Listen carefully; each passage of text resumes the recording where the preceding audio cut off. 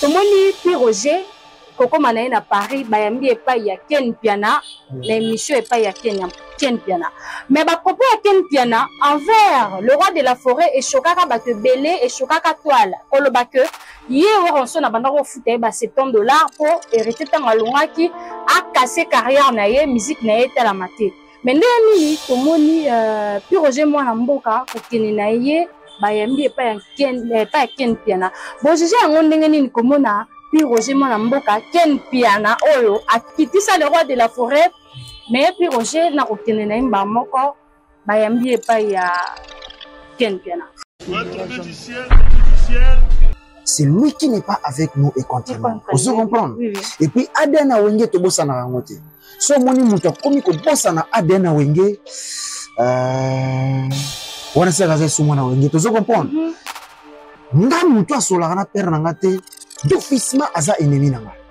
wana eza likambo oloba te mhm. so osolaka na pere na nga te yo oza enemi na nga nga soko manka deja weranson ata mbala moko mbala mibale na orate yo te donc yeba directement hmm. sorti médiatique ya didier lacoste na bapropos na ye alobaki le roi de la forêt atindaka ye na brazzaville akee kozwa kisi ntango fali mpo palongwaki euh, quartier latin abimisaka droit chemin werson atindaka ye akee kozwa kisi mpo bakase album wana sur le marché ah, boeskize nga mpena pour le terme nayebi ke mambo ekoma mambo baparke mais nga pena so, nga natala émission wana te mais vie na biso didier lacoste soki ye moto alobi eloko wana nga naomona peut-être akomi na batrouble psychique oh. akomi na batrouble mental là je te dis vrai batrouble trouble est-ce que weranson peut se permettre tala na grandeur ya weranson nga na hypocrite te azalaka na weranson ekuta mpe nayebisa yo dembo tala grandeur ya weranson je te dis hein? mm -hmm. tala grandeur ya weranson tala fali pupa omoi teke wana soki na kati ya voiture soki eza na voiture bia bagrand carte obenga yango presdere yani ti weranson asa presdere amizongisa nsima mpo bato bakufa or weranson ye aza boye fali aza na se tu peux pas comparer weranson efali pupa aza na problème ya motu Oh, monsieur Gindingo, je te salade, il y a des badendo. Hein. Tu vois ah. Donc, peut-être que ça peut me faire, ma foute, badendo, oh, il y a trop. Aza vieux pe ya wenge, aleka na wenge. Est-ce que mutu ya wenge, yo za na ADN ya wenge, tu peux te permettre de dire des bêtises comme ça Ata yo mona nvana nanu. Didier Lacoste, ni tete yo ranson, na koyeba ye.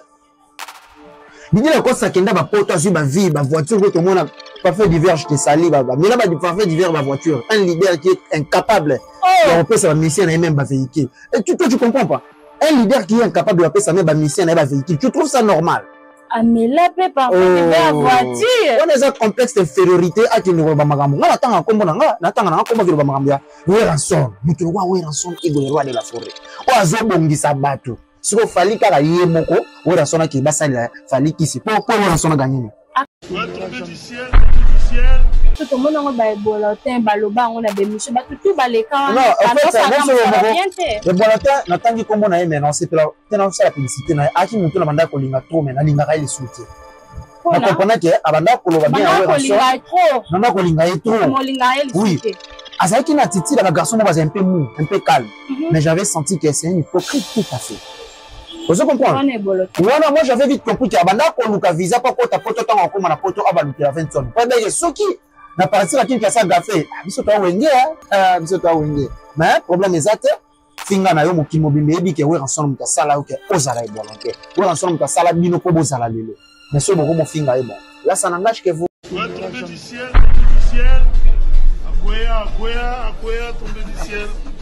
en tout cas tombe du ciel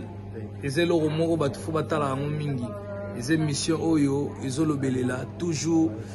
ba bienfait toujours ba exploit ya Werrason roi de la forêt Alex Nsima kobosana te moro tezoya moro tezoya il faut ko expliquer mokili ba ana to na catastrophe patience quitter te le roi de la forêt donc voilà quoi ouais Alex Nsima en tout cas bozela nganga boyokana tokosolola mais panto yanga pour une heure de temps 30 minutes nayebi ke makambo to bozala na ngo besoin na kosola na bino calmement posé donc eza na ngo problème te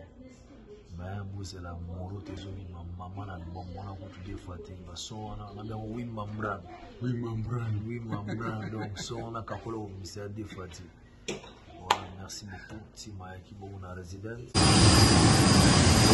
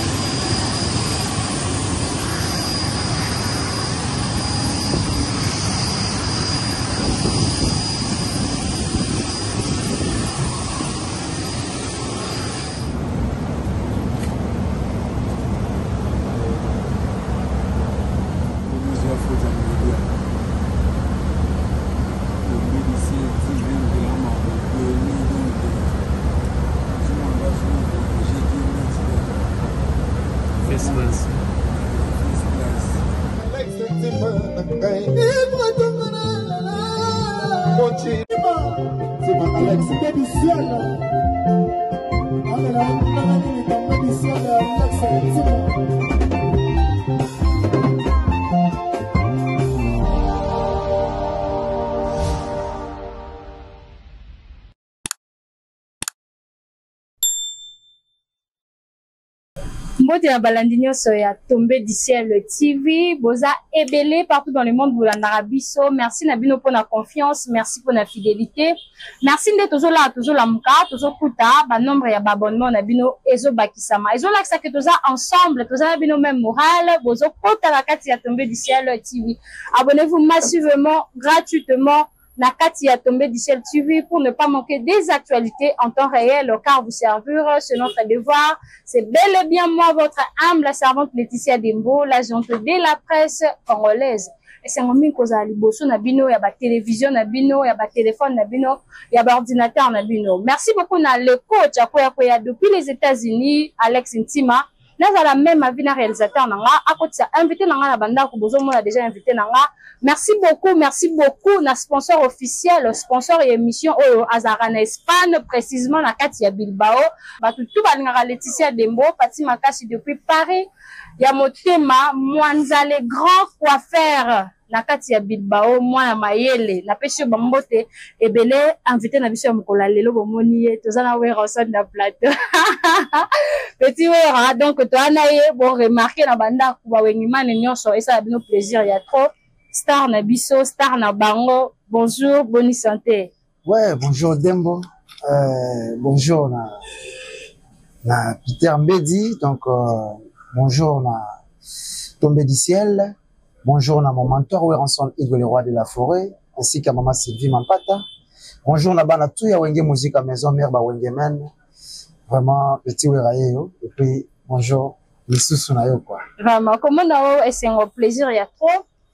et surtout toza na petit wera tolobela bamakambo ezalaka deja tomoni oyo arrive na yo na kati ya studio esika ete bazo prépare moro te mais tomoni accueil yo na mater na yo le roi de la forêt eyambeli ayambeli en tout cas bato ebele bakolanda yango peter mbedi akotya video wana tokolanda yango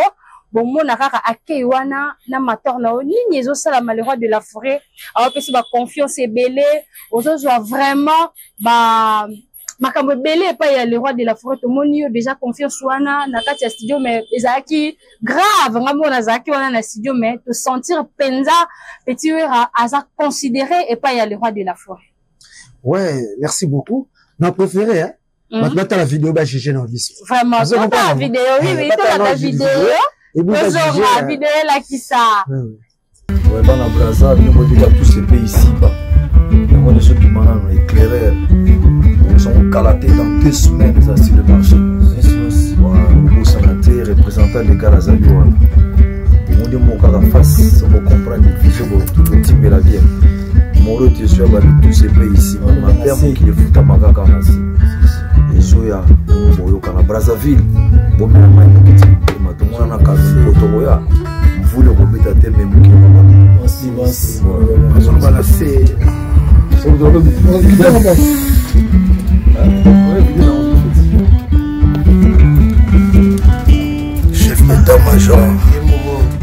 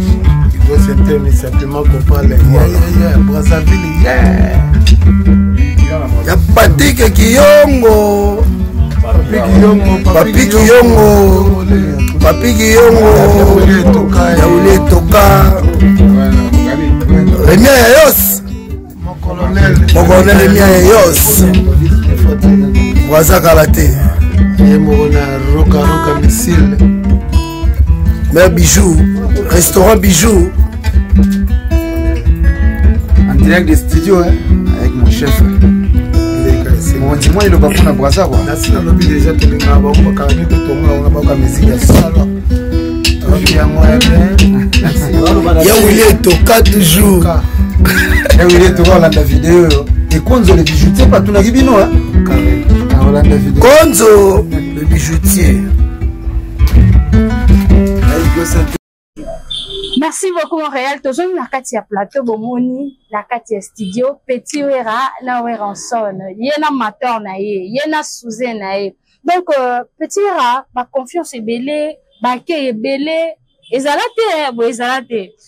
ouais omoni soki olobi ezala te nga na omona yango mwa mystique kua mais fo oyebaka ezala na confiance oyo Weranson Igole Roi de la Forêt azopesa nga eza mpona boulot ozo comprendre mm -hmm. tellement ke nazo défendre ye valablement nazosala mosala ndenge alingaka ndenge bana tu ya maison mère bazosepela mm -hmm. yango moni petit wera aza aime na kati ya wenge musique ya maison mère yango moni ambiance ezalaki très chaleureux na kati ya studio merci ya mon chef papi kakol epuis euh, aigo sente ainsi que à Gino Bass. Yo moko sentir. Na sentir. Euh, ah, profiter la PCP CG Katakata à partir ya France euh, Bambote, la PCP euh, grand prêtre Alex Tima Pembote. Vraiment. Ya très sentir. vraiment ndenge ozokendaka braza po petit frère aza mingimingi braza évolution ya moro te ndenge nini bawengemani bazozela moro te kuna na kati ya congo braza bazoloba na se oh. ozoyoka te ozo comprendre oyebi moro te eza deuxième kibwisa mpipa mm-hmm. au moment je vous dis weranson igo le roi de la forêt na bamoulin na ye tout baza na kati ya chambre de stratégie oyo tobengaka studio ozo mm-hmm. comprendre letisia donc na congo brazzaville bimo bomoni je suis son représentant valable bana tu ya congo brazzaville baza scotche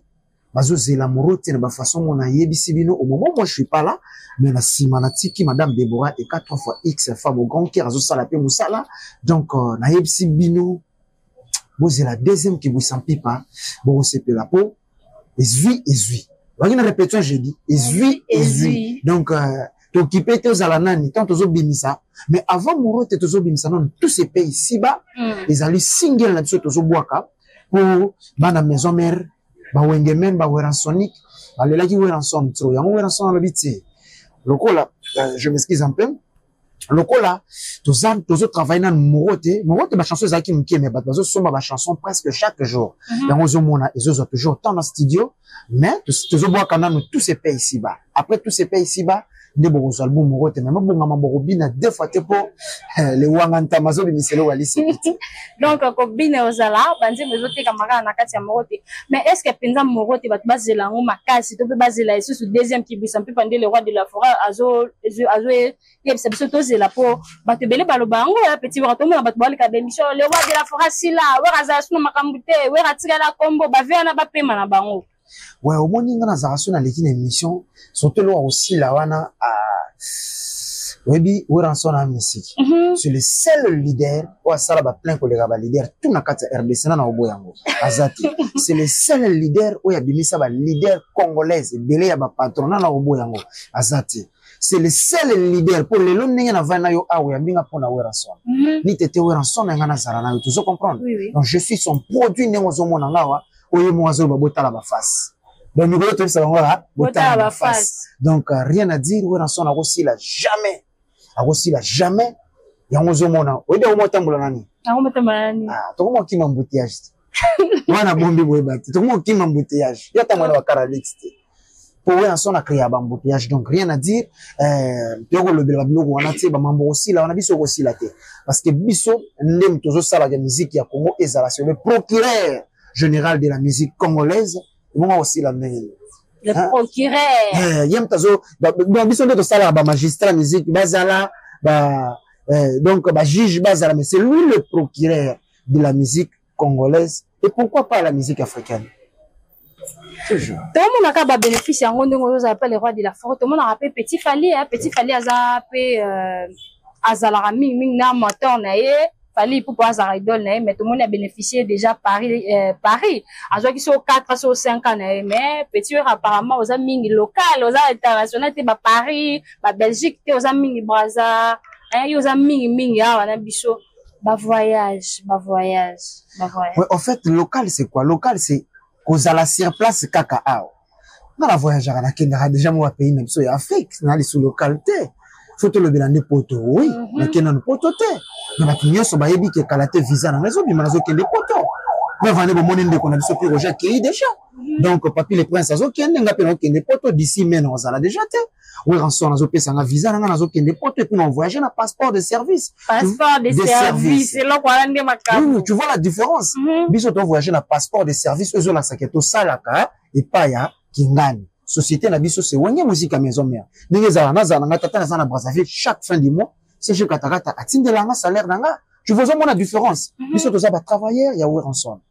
donc différence yango wana mambo poto tolobela yango trop te eh, là j'en profite directement fo napesa merci epai ya ya willi pensiem ye moto alobi lokola visa no bazopesa biye na yo eza na maboko na nga josiane baya alobi biye no na maboko na ngai epuis eh, de longue jam zaina ye mpe alobi biye no na maboko na ngai pourquoi pas président don na lille donc euh, mama claudine kina mpe alobi tozozeloka na kati ya france donc mambo poto tolobela yango na wenge te parce que weranson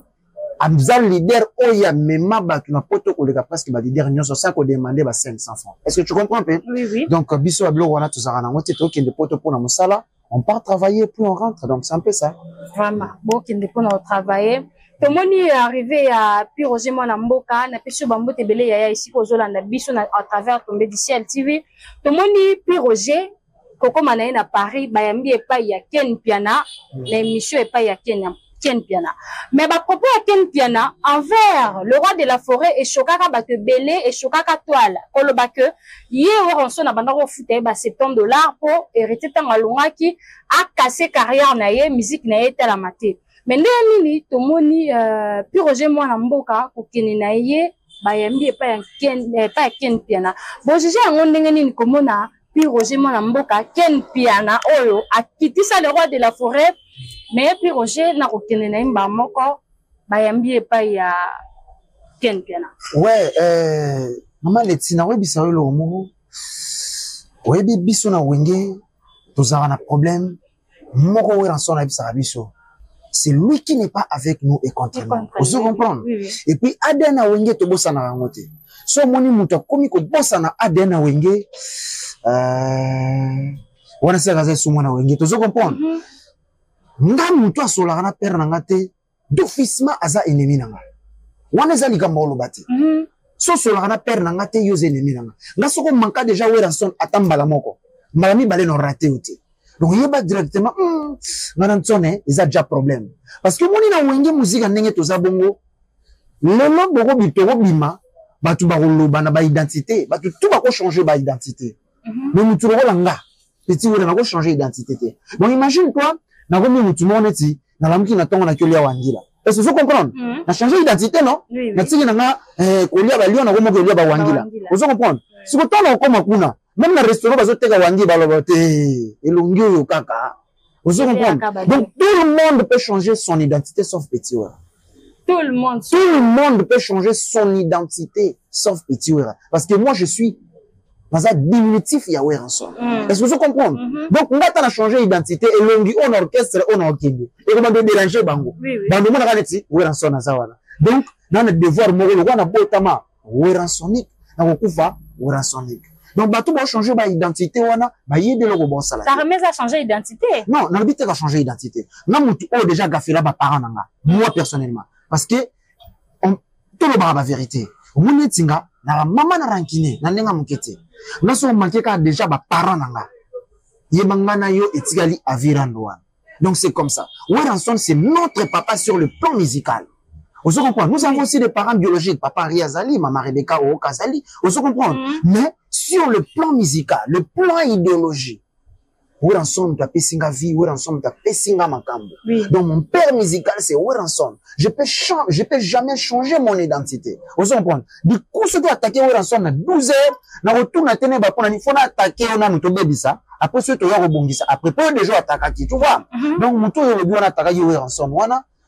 donc euh, lokola deja eh, ye lokola deja aloba mabe mpona weranson neti nga moi personnellement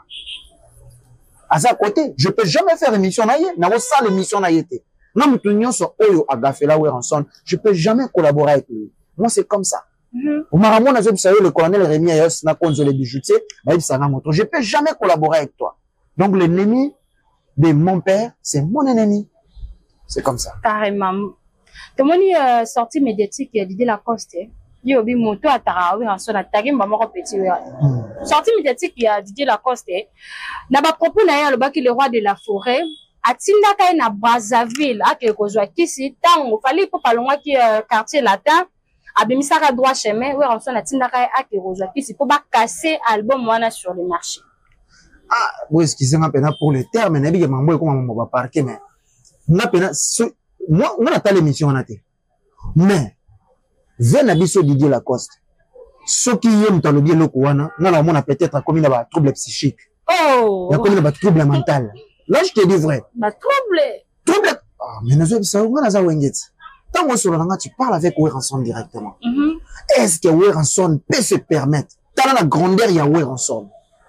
Moi nga na hypocrite te. Azaka na Weranson. Écoute un peu na bisa yo Dembo. Tala grandeur ya Weranson je te dis. Hein? Mm -hmm. Tala grandeur ya Weranson, tala Fally Poupa. omoi teke wana soki na kati ya voiture soki eza na voiture bia bagrand carte obenga yango presidere ya neti wera soki nasa presidere amizongisa nsima mpo bato bakufa or weranson ye aza boye fali aza na se tu peux pas comparer weranson ne fali pourtant directement didier lacoste mutu aza na problème ya mutu eh, mozegi ndingo jute sala bien akebi badendo eh.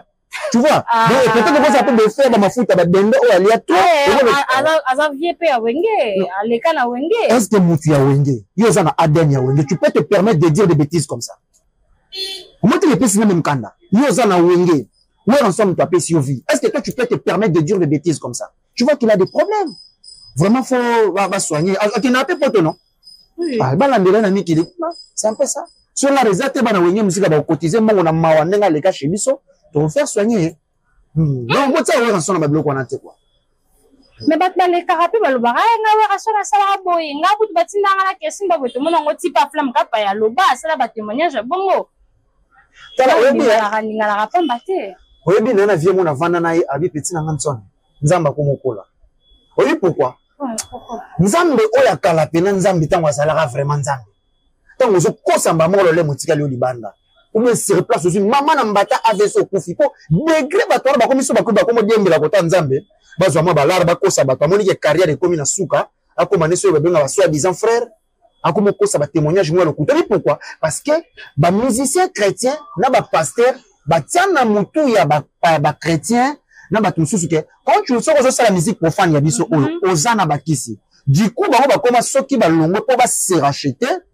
fo olobaka tozalaki na bakisi tosalaka boye lokola bayebi ke weranson aza numero 1 ya musique ya rdc seke kuna kisi nde evandaka ngai na na kisi te yalobaki kenda na braza ngai avanda na brazzaville je suis le représentant valable de weranson nga nasimba ata kisi nayebi ata kisi ndenge ezala kaka mabondeli ya ye moko mama paster nde bisabiso to prie nde venson alobaka tuzu nga naza na eloko te peti fo losambo sikoyebisanga mai elingana pamba te mai ekoningana yango mpe pamba mpe ezalaka nango mpe oh. eh. ekoningama bosi boso bambisi bawa bagare na bango na sekulu mupepe yaka mpe na bavage yaka mpe na bambonge me oyo bango basala wana eza bilobaloba les gens comme ça bon eza mawa ata yo mona nvana nanu mhm. didie lacoste mitete oyo ensemble nakoyeba ye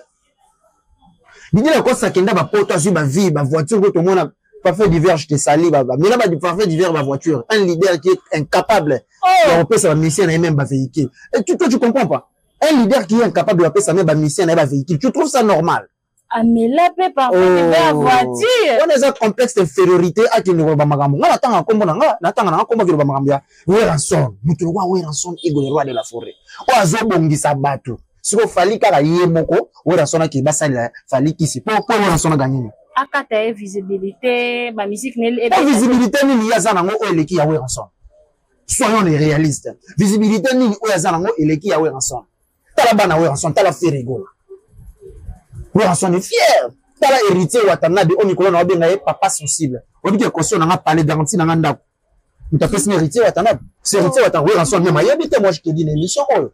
oyo nga mikolo na obenga héritier watanabe papa sensible donc il est très sensible mpo na koaide bato merci na garanti ya ndako merci euh, goga euh, totorino moto na tembe merci vraiment lui il est là toujours pour aider donc place weranson akoki kosala soki toyebisi weranson te héritier directement et pourtant osala bongo oyebisa mpe weranson te au moment je te dis même président mpo ezali biteke héritier watana bapesa yanga mbongo conscient ya palais ayebi te mpo ezali biteke héritier watana bazotinda papi le prince ya afrique d'ici mpo ozwa basion ya miso nini olobela héritier watana ndeni ozojuge ye na fabrigaz oyo lelo tomoni mwa baguerre eza bato ya fabrigaz kobenga Heritier Watanabe jeune talent tomonaki yango epai ya Deborah ya Mado kobenga euh, Heritier Watagoga jeune talent o juge yango ndenge nini bon en fait nga natanga ba musicien oyo bana ba orchestre te moi je parle de Heritier Watanabe et Fabrigas Maestro mm. baza bana ya Wenge Musica moi je suis le représentant de Weranson non naza papa leki na bango tu vois oui, oui. donc nga nakoloba mabe mpo na motu te nazalaka na besoin kimia bango nyonso bazosala kaka fierte ya weronson igo le roi de la forêt donc euh, naza wana te mpo naloba héritier asalaki boye fabrigas asalaki boye donc ngai naza wana mpo na kodefendre weronson epuis mpo na kovalorize bana na biso ya wenge donc ngai loba naza papa leki donc je dois être au milieu du village mm -hmm. donc sapesa kolanda bana oyo baza na baorchestre na bango wana te omoi na ndako nyonso est ce que obikele na remarke loko baparent nyonso nde tobotamaka parent nyonso azalaka mpe na mwana alingaka mingi Oui. Bon, bon. Je crois que débat na to clore yango. To clore euh, débat na papa leki. Hmm. Totala sikoyo ne makambo yango ezokende. Wera nso naza non vivant. Pourquoi pas le roi de la forêt par akoki kosangisa bango nyonso tout. Hmm. Baoyo baza na mwa baronkine akotisa kimia tomona yango epai héritier epai ya fabrigaz bafere gola hmm. kosangisa bango kopesa bango kimia baloba mpenza ke esili tokitisi drapeau ya pembe etelemi bapesani me ya culpa bango na bango. bon mambo ozoloba wana wana ezo engage kaka yo epuis toyebi bapense ya weranson te euh, oyebi mingi mingi biso tolobaka euh, singa famille ebendanaka mekatanaka te je crois kezalaka adage ya biso baafricain mm. euh, singa famille ebendanaka mekatanaka te mambo weranson aza nango na motu yo obosani yango te mm -hmm. weranson ayebisaka bango mingi bokimaka adn te le fait déjà koyesa bango bokima adn te c'est une façon korappele bango ke boza bana ya mama moko papa moko malgré tout badivergence ezangaka te estce que tu comprends mpe oui, oui. donc place wana kozela vraiment weranson asala devoir moko ya makasi te parce que héritier watanabe aza bebe te Fabregas aza bebe te bayebi ke biso nyonso tozosala honneur ya Waranson Igo le roi de la forêt donc ba conscience na bango ekosala c'est un peu ça ba conscience na bango ekosala mm. tomonaka yo mingi mingi na papi kakol ozalaka bien tandis ke bato tout ba misien tout bazalaka na kati ya wenge musique surtout baoyo balongwaka balobaka kaka témoignage moko hmm. eza difficile mpo oyeba ye eza difficile mpo ozala na papi kakol eza difficile tala kutu 12 eza ye tala kaka mais comportement ya papi kakol envers yo tomona yango ndenge moko te hmm. tellement gentil na yo eza nini secret eza nini oyo baninga bazozanga yango mpo bango mpe bazala bien penepene ya Euh, tu, euh, papi kakol c'est bon ouais naye bisa bino soki eloko moko fo boye bango lelo mhm. papi kakol n'a jamais été mauvais papi kakol aime le bosser nde weranson aza weranson soki ozo bosse akolingo makasi oyebi pourquoi weranson alinga nga makasi pourquoi asantaka ke non oyo aza défonceur na nga et puis il a l'avenir hier soir tosoli na prise trop libanda trop libanda bisinga yo ozalaka zalaka toujours na bakini te fozonga ozo comprendre Parce que yo moto osimbi makambo yo oza na emblème ya wenge mosika maison mère na brazzaville donc je suis obligé de rentrer papi kakol bomonaka ye mabe te papi kakol chef na biso se bondo que je sali eh, motema ya mama linda place aza ye alingaka baboser soki ozosala mosala bien mpo na intérêt ya wenge aolinga yo mais soki ozo deroute okobenga ye toujours aza mabe okokosele toujours mambo ebele ndenge moko mpe na hugo sente baza bongo ndenge moko mpe na odile manzaka balaka odile manzaka asalaka bo asalaka non baodile manzaka pitbull que je sali eh, condor 13 moto bien te abisha senateur je te sali papi euh, papi le prince euh, donc euh, napesi yo mbote na sankara de kunta bino tout donc bango wenge tolingaka babosere wenge soki ozosala mosala bien tolingaka soki osala mosala bien te a ah, oza na biso te parce que c'est le travail faut mbongo ekota mpo bato mpe bazwa laba wana nyonso to tomona yango baebolotin baloba yango na bemission bato tu baleka wanaebolotin natangi nkombo na ye mai naosepela te naosala publicité na ye aki motu na bandaki kolinga trop mai nalingaka ye lisusu te nakomponaki abandaki koloba bien yango nanda kolinga ye trop oui azalaki na attitude ya bagarçon moko azali mpe mou mpe calme mm -hmm. mais j'avais senti que c'est un hypocrite tout à fait ozo comprendre wana moi j'avais vite compris que abanda koluka visa mpo akota poto ntango akoma na poto abalukela vinson mpo ebeke soki na partir ya kinshasa gafe ah, biso toa wenge eh? ah, biso toa wenge mais problème eza te finga na yo mokili mobimba eyebi ke weranson moto asala yo ke ozala ebolonte weranson moto asala bino mpo bozala lelo Monsieur boko mofinga ye bon. Là ça n'engage que vous. Hmm. Mm. Aloba tu eza te. Ya aloba tu eza te. Ah. Wana ya engagé ka bango donc bato nyonso to wana eza ka bazalaki na bango ba bosser pe Papi Kakol en vrai c'est une bonne personne. Non, bazalaki ba bosser, so bazalaki na problème na Papi Kakol, bazalaki na problème na Weranson te, bazalaki na problème na Wenge musique te. Peut-être à la fin, ba mona ki Papi Kakol amona ki bato bazo gaffer, ba komo sali sumu sala bien te photo virer bango. Mais Papi Kakol pa vira na ye mutu te. Mhm. Abenga na mutu te na Wenge. peut-être bango monde bazalaki na baranki na papi d'accord tu vois est-ce que ba priorité ezalaka ba, ah, ba enfants penza balingaka mingi na ba bazaka ba enfants abandonné ba enfants négligés non ce que dit enfants négligés c'est trop dire biso nyonso na kati ya wenge toza bana wer ensemble mais chaque mwana aza na bacotation na ye nde tozalaka na famille nayebisa yo meme ata ngulu azalaka na bebe na ye oyo alingaka mingi amelisa mabele e eh, nyonso koleka bebele wana moto akosa yo te ba ayant droit bazalaka kaka Oui. meme soki toke na gouvernement ba ayant droit bazalaka na monde ya bandoki ndoki privilégié azalaka kaka ozo comprendre yango lokola baheritier wata bazalaka bayango Eza mabe te. oyemba te oyemba te wana sikoyo moto olobi yango ozo comprendre mais ba ayant droit bazalaka kaka donc wana tokosala débat te Mhm. moto nyonso azalaka na rang moko te moto nyonso na vie azalaka na rang moko te meme na kati ya église eh, eza na bato oyo pasteur aprivilégiaka koleka mpe bandimi mosusu c'est pas ça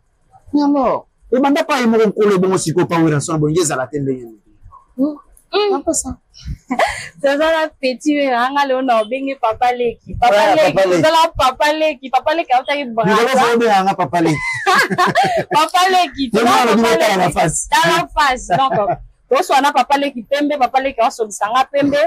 Papa leki différence nini osala na génération ya baheritier wata na génération ya lelo ya baheritier catholique. Balobi baheritier wata bazalaki na makambo, baheritier wata bayebanaki oleka ba inaperçu te. Mais lelo génération ya lelo eye ya baheritier catholique bakoleka pe inaperçu moto ayebi ye te baza lisusu na koyeba no ezalaki te visibilité quoi eza te ekita yango esalaka bato pe baloba ke Werrason na kita nini ezosala pesa biso différence wana ya génération wana ya lelo ouais avant na pesa nanu différence wana je sali uh, ginkoi ah, ginkoi wana babileki ya, ya papa ginkoi et ah, puis ah, frère ouais. patrice boyi mosoko esika azali mm -hmm. napesi ye bambote mingi mabondeli na ye nde ezosimba biso euh, oyebi différence oyo ezosala eza weranson na pas le temps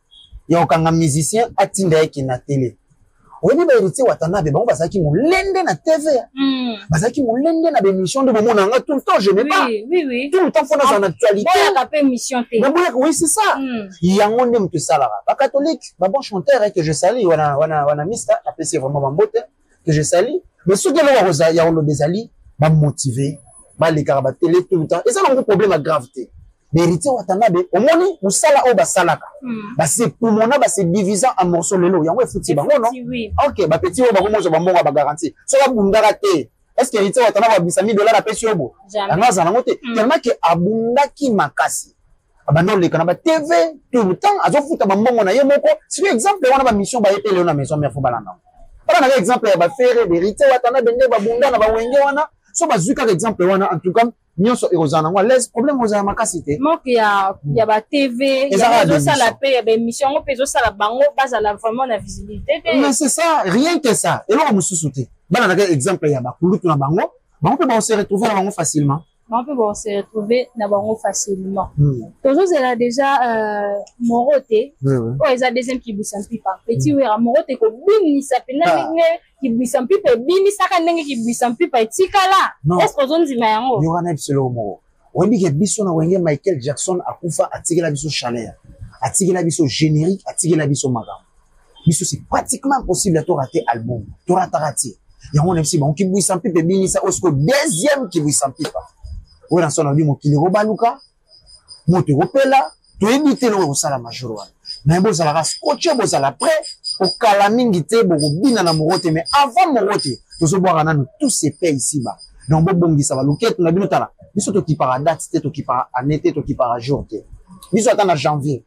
ata jour ferie ata jour bato baa na matanga tobimisa po e destresse bato donc euh, bientôt tout se paye ici ba ezobima donc mingi ya koloba eza te euh, oyebi ke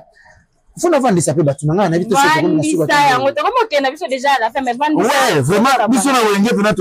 tobukanaka te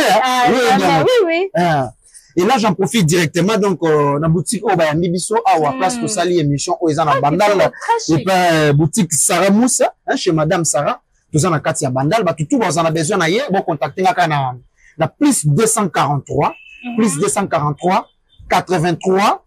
16 10 633 wana c'est mon numéro de whatsapp plus 243 83 16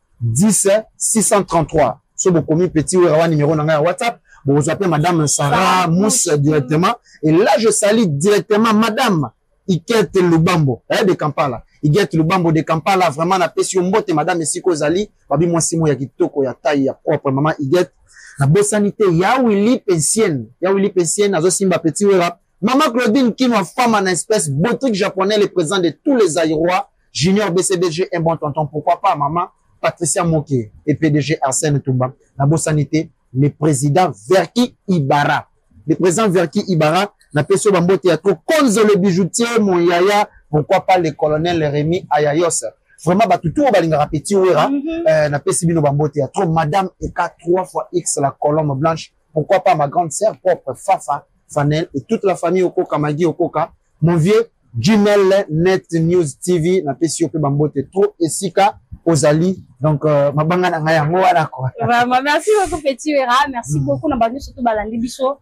à travers Tombée du ciel TV nalingi mm. bino mingi vous servir c'est notre devoir nazalaki na papa leki donc petit weranson boko remarke na bandako naye nde tosololi masolo etali moro te yango nde bato ebele bazozela ensenetnabosani te peter mbedi peter mbedi ya se komonaka mpona petit wera madame sara babi sara mos boutique sara mos na kati ya bandal vraiment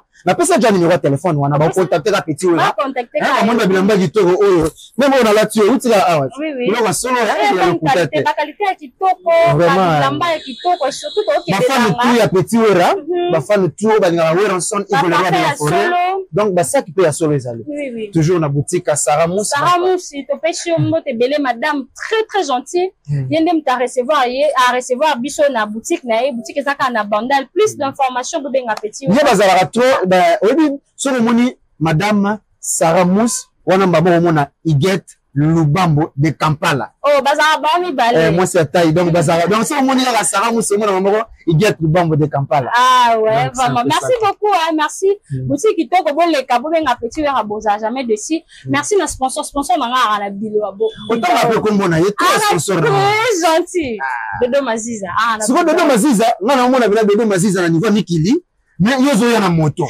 ah, ina dodo maziza fo solola eh, dodo maziza te eh, soki asololaki yango ya na moto te tolobaka mpe verité te aklelo ata moloko mwa te ya mwa 3 meme dodo maziza na numero na ngai yango wana soki sala petit oyo ya mama valentine maziza ya mama valentine maziza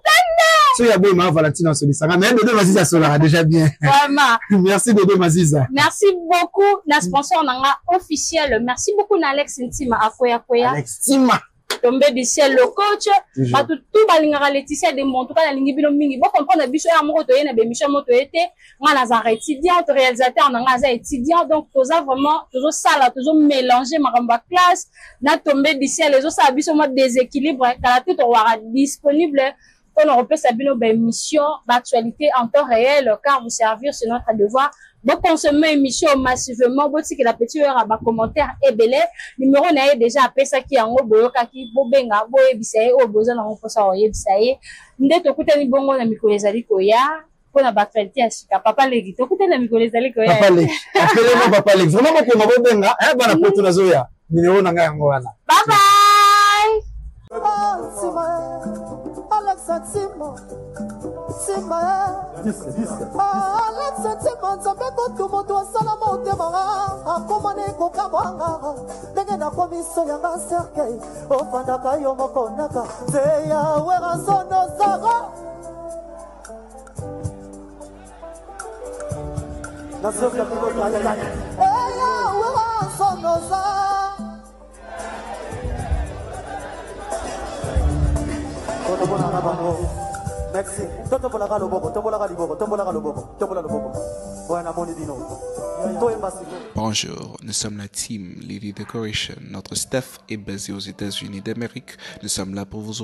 offrir nos mères de nos services pour vos événements mémorables et inoubliables. Faites-nous confiance, nous sommes disponibles 7 jours sur 7. Merci.